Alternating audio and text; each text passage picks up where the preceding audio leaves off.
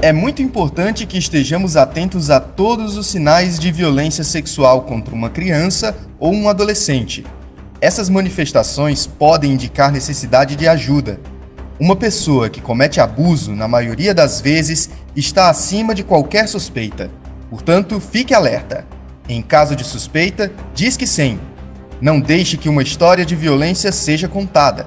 18 de maio, Dia Nacional de Combate ao Abuso e à Exploração Sexual de Crianças e Adolescentes.